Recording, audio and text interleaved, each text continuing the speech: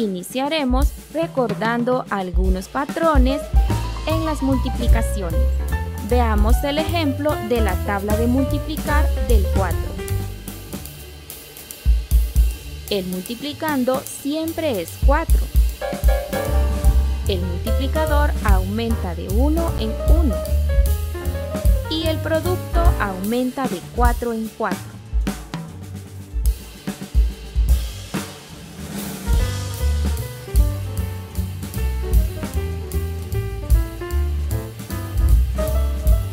Invertimos el orden del multiplicador, entonces vemos que el producto disminuye de 4 en 4.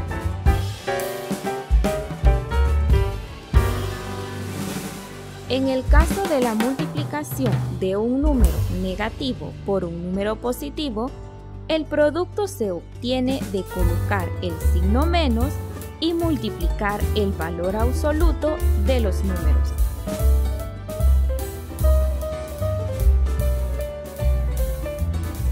En este caso, observemos que a medida el multiplicador disminuye en 1, el producto aumenta en 4.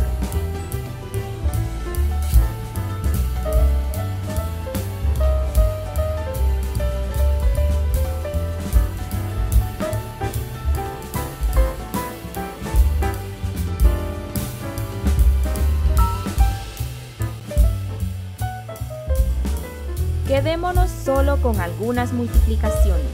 Si continuamos disminuyendo el multiplicador, la próxima multiplicación es menos 4 por 0, lo que siguiendo el patrón en los productos en efecto da 0.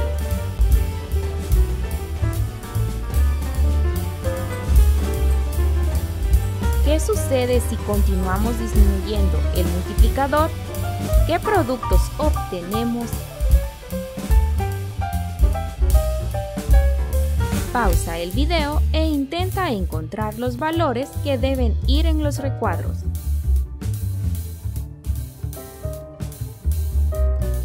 Exacto, si continuamos con el patrón, es decir, aumentando en 4 el producto, obtenemos que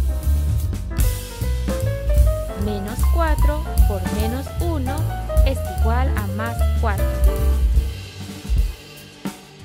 menos 4 por menos 2 es igual a más 8.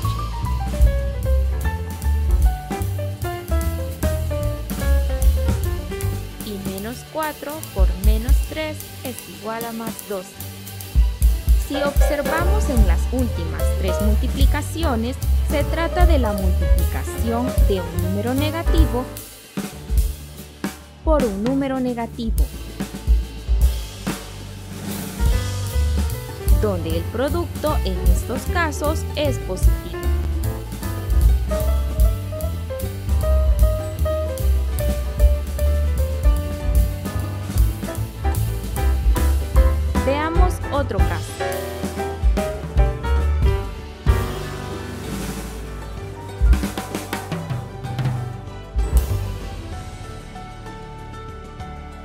Lo primero que haremos es descubrir el patrón en el producto de las multiplicaciones realizadas y con base en ello completar los recuadros.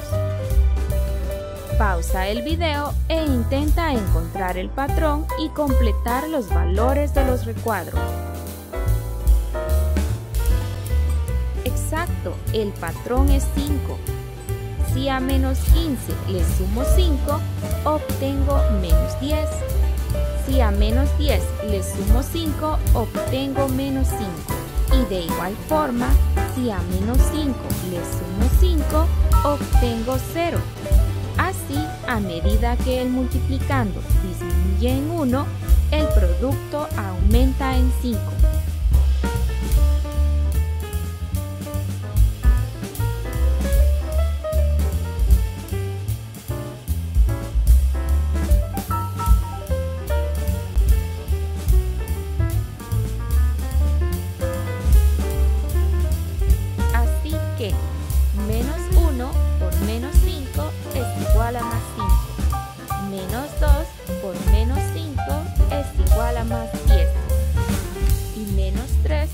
Menos 5 es igual a más 15. De nuevo, si observamos en las últimas tres multiplicaciones, se trata del producto de un número negativo por un número negativo, donde el producto es un número positivo. En general, si multiplicamos dos números con igual signo, se realizan los siguientes pasos. 1. Se escribe el signo más. 2. Se coloca el producto de los valores absolutos de los números. Al multiplicar un número negativo por 0, el producto es 0. Ahora es tu turno para aplicar lo que has aprendido. Resuelve los problemas de la clase 1.2 que se encuentran en la página 27 del libro de texto de séptimo grado.